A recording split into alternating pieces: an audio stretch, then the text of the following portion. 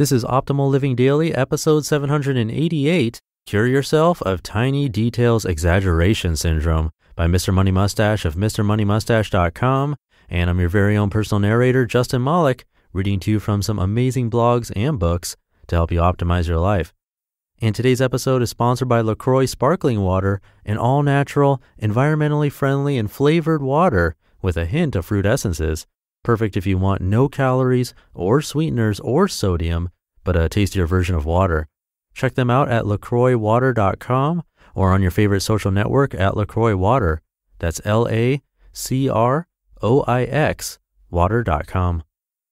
And hey, in tomorrow's episode, I'll talk about a free, actually more than free, a paid for you event that we're trying to put together for listeners of the show here in Orange County, California.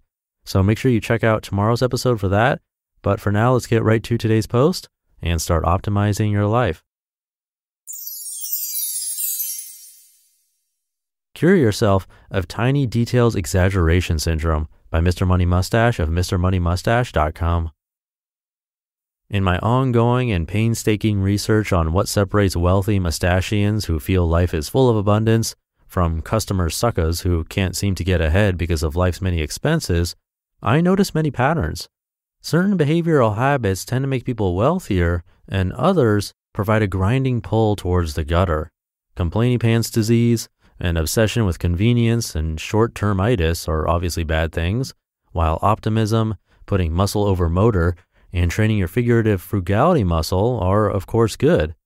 One of the stranger patterns that I've noticed ever since reaching adulthood is the tendency of humans to zoom in on increasingly irrelevant details as their material wealth increases. Despite their advantaged position, people seem to become unaware of the wide variety of conditions in the world and their own ability as a human to deal with them. The results are both tragic and amusing. At first, I thought this was a unique characteristic of US residents since I saw the first examples after moving in with some roommates in Boulder, Colorado. You know, I never thought I'd be able to live way out here in the suburbs after living downtown for so long, said 24 year old Meredith. But I guess you have to make some changes when you get older. I was confused because Boulder has no suburbs.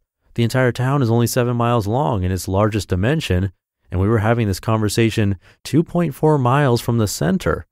After living near Toronto, I thought suburbs were something you drove 45 minutes down a 16 lane highway to reach.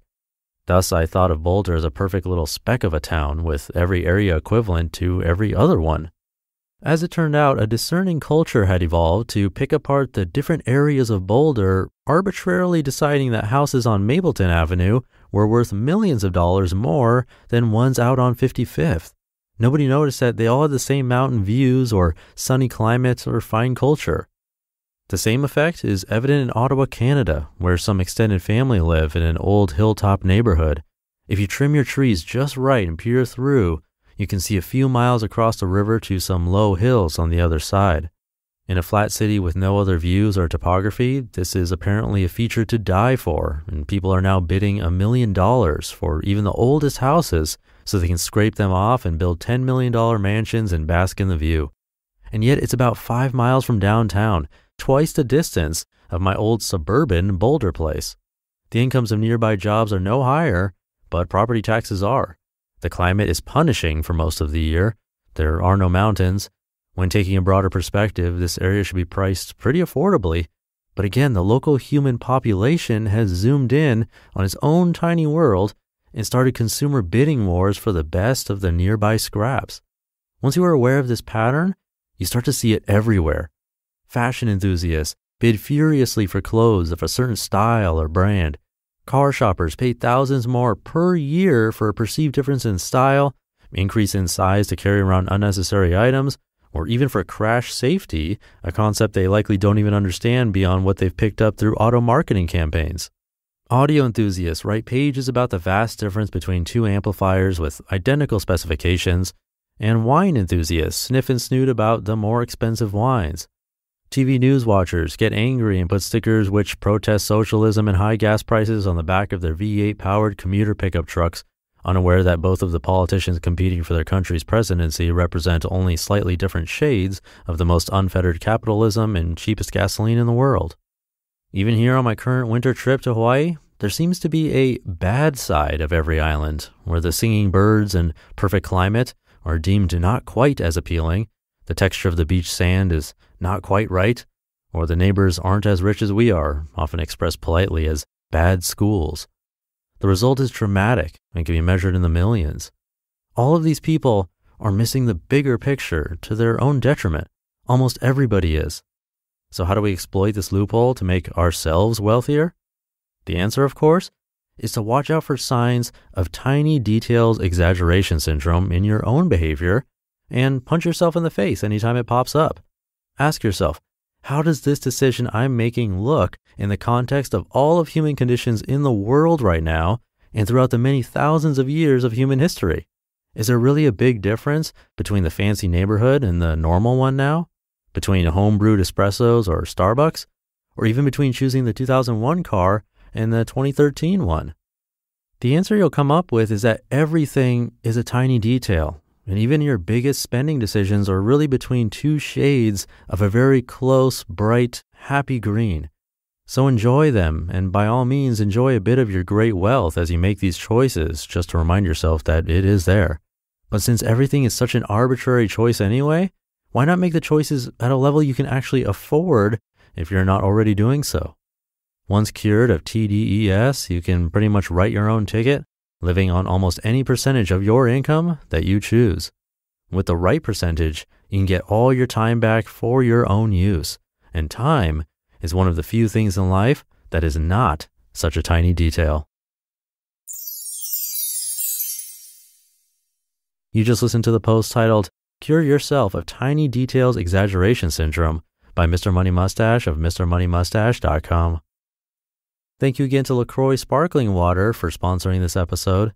If you're drinking sugary fruit drinks or sodas because you don't like plain water, consider making the switch to LaCroix sparkling water, a healthier alternative for you and your lifestyle. My fridge is stocked with LaCroix sparkling water, and every time my business partner Lee comes over, he's been having a different flavor. He's loved all of the ones he's tried so far. There are 14 LaCroix flavors, like tangerine, lemon, and peach pear. There's also grapefruit, lime, passion fruit, and more, including six LaCroix Curate flavors, like blackberry cucumber, apple berry, and a lot more. They're certified kosher, gluten free, vegan, and non GMO, and no calories, sweeteners, or sodium. You can check them out and see a full list of retailers on their site, lacroixwater.com, and join their community on your favorite social network at LaCroix Water. That's L A C R O I X water.com, and I have it linked in this episode's description.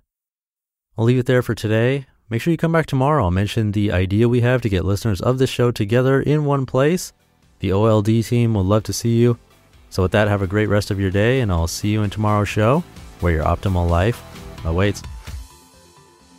Hey, this is Dan from the Optimal Finance Daily podcast, which is a lot like this show, except more focused on personal finance. Justin handpicks the best posts he can find from blogs and authors like Ramit Sethi, Mr. Money Mustache, and more, and I read them to you five days a week. So if you enjoy this podcast, come on over and subscribe to Optimal Finance Daily too.